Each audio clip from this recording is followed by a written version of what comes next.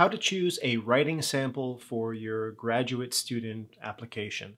This is probably top two, top three questions that I hear all the time because it's a really, really important one. The writing sample is a top three component of the application, in my view, alongside obviously your statement of purpose, your kind of research statement, and your letters of recommendation. And really, if you really boil it down, if the writing sample is not um, one where you can put your best foot forward, it's going to be really difficult to make the case if you are a potential advisor for admitting somebody. I have seen applications get so far in the process before someone says in the committee, I read the writing sample and I, I, I have some questions. Um, and then and then from there, you know, things can go really south. So how to choose what of your writings to include as your writing sample. That's what this tutorial is about. You need to think of your writing sample strategically. It needs to achieve certain things rather than just be a piece of writing. And I hope to make that clear over the course of this tutorial. Here are a few examples. If you're writing uh, an application for a program where it is advantageous to have mastery of multiple languages, then something your writing sample can achieve is conveying your ability to conduct original research in primary sources in different languages. That's something that it can achieve.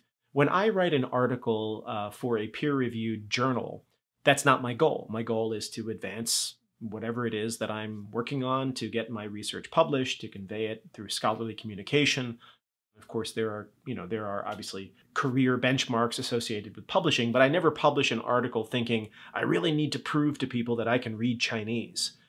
But when you apply to graduate school and you're giving a writing sample, you actually do want to be able to convey to them, how do I tell them that I I can do like serious primary research in Arabic or I can really do work in Russian or I can really do work um, and various methodologies. Well, the writing sample is one place where you can convey that. So what does that mean in practical terms?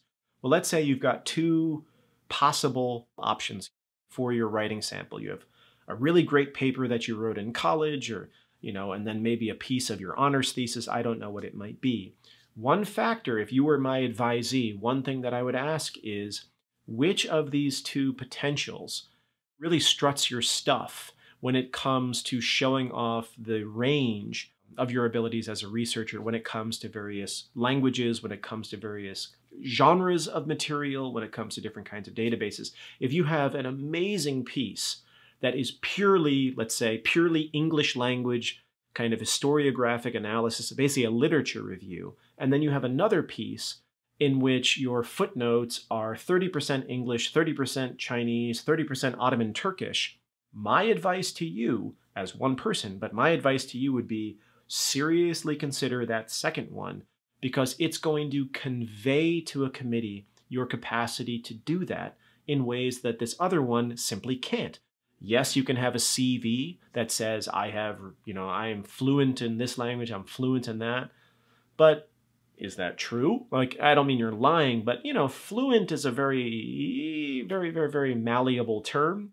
And if I see a 30 page substantive uh, piece of writing in which someone has very clearly analyzed materials in other languages, that increases my confidence level. Like it shoots through the roof that yes, this person really does have Arabic. This person really does have Chinese or Japanese, especially if it's a language that, that I read and I can actually look and see what's going on, or someone on the committee can.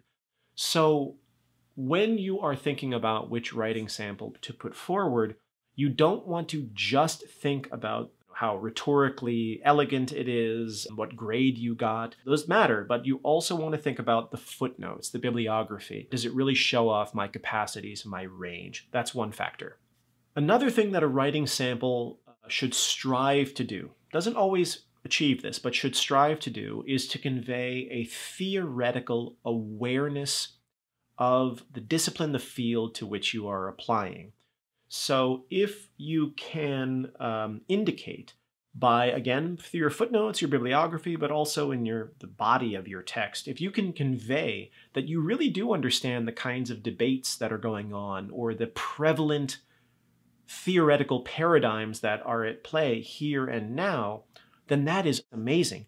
Because what it conveys to a committee, an admissions committee, is that this applicant kind of knows how scholarship works. It's not as if they just have a funny impression of scholarship maybe by you know watching movies about professors or watching TV shows or maybe they have a professor friend but they really seem to have a sense of the internal workings of how it is that we talk with each other like what are concerns the things that we actually think about on a weekly monthly basis and the ability to actually indicate an awareness of that goes a long way. So let's say you're, I don't know, a film student. If your last reference to a film was The Godfather or Star Wars, and that's it, then you kind of leave it open for debate for the admissions committee to say, mm, like, everybody knows The Godfather. Like, everybody, everybody knows Star Wars. Like, I don't necessarily get a sense that this person actually understands what it is that we do and therefore actually understands what potentially they might be getting into if they get admitted to a program. Compare that to someone who says, you know, uh, you know, various references in the course of their their written material, their writing sample. Yes, they have Godfather, they have Star Wars, but they also have some sort of obscure uh, Azerbaijani film that came out last year, or a, an actual meaningful reference to a South Korean, you know, um, agitprop documentary that was I don't know what it might be, but something which indicates that this applicant is really already a student of the subject matter. They have a lot to learn. We can teach them. That's what our program is here for. But they are already really, really well developed, really well on their way. And at least that's what's conveyed in the written material. So the writing sample, again, needs to achieve things. It doesn't just exist in a static sense, it needs to be achieving certain objectives. The first one I mentioned is to show your range, your capacities, in a research arena. And the second one is to try to indicate a maturity, a mature awareness of the theoretical paradigms and the reference points that are meaningful to those who are going to be on the opposite side of that admissions committee, on, that, on, on the opposite side of that table. Now, this might raise the question, wow, now that he's pointing these things out, maybe I should like start an entirely new project where I really brush off my Ottoman Turkish and my and my ancient Assyrian, and I and I, and I, and I go read a you know a hundred different journal articles, and I no, no, no, no. I mean, if you have nothing, if you have nothing in your hard drive that could even remotely work as a writing sample, then obviously you're going to need to write something from scratch, I guess. But barring that, assuming you have written material from your undergraduate, from your master's program, from an honors thesis, whatever it might be, from your career, let's say you're a career in journalism, I don't know what it might be it is a far better option, in my view, to revise something than to attempt the act of writing something from scratch, as as uh, kind of utopian as that might sound, like as perfect and perfectionist as it might sound, to just build something perfectly suited from some scratch rather than revise something that's not really quite there. The reason is simple if you have something that you've already worked on, then chances are it has already gone through some kind of review process. It was graded, it was revised, you revised it prior to submitting your honors thesis. Chances are you had more than one draft of your honors thesis before you submitted it.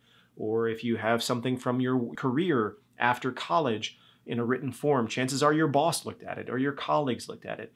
And some various kinds of cognitive sandpaper has already polished that piece of writing and also stress tested it in certain ways that is going to make it nine times out of ten stronger as a piece of writing than something you come up with from scratch. From scratch, you're still going to want to stress test it. You're still going to want to have people look at it.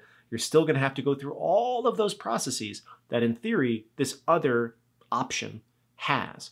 So between the two, starting over and working with what you have, it is my view, just one person's view, that it is better to start with something that you have, but in a strategic way to think about how it can be augmented, edited, amended to try to achieve some of those objectives that I brought up. For example, and I'm just telling you this, no one will know that if you took a piece of writing from your undergraduate days that was 95% English or whatever, you know, whatever the dominant language is in your intellectual world is your, your mother tongue, and 5% French, 5% a kind of research language, there is absolutely nothing to stop you from revising that piece and augmenting the French language material in the bibliography or in the text. There is nothing in the world that prevents you from adding a number of sources in German. Let's say that you have German, but you just didn't use German for that paper.